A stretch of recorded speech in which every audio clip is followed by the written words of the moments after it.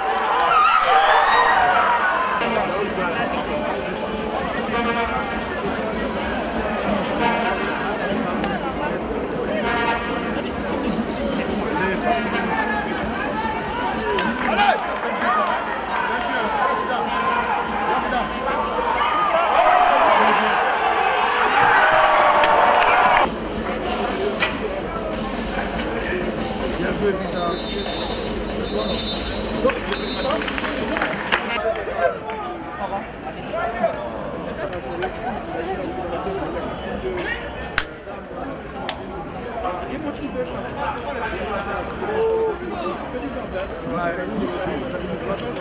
you.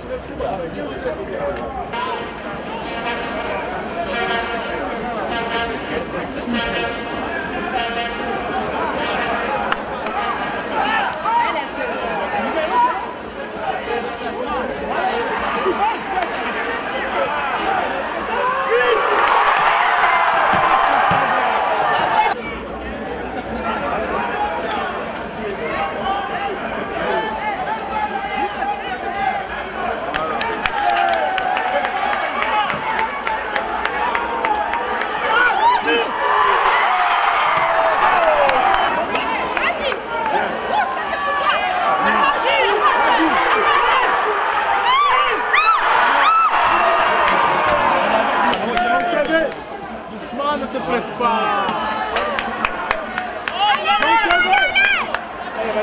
Mon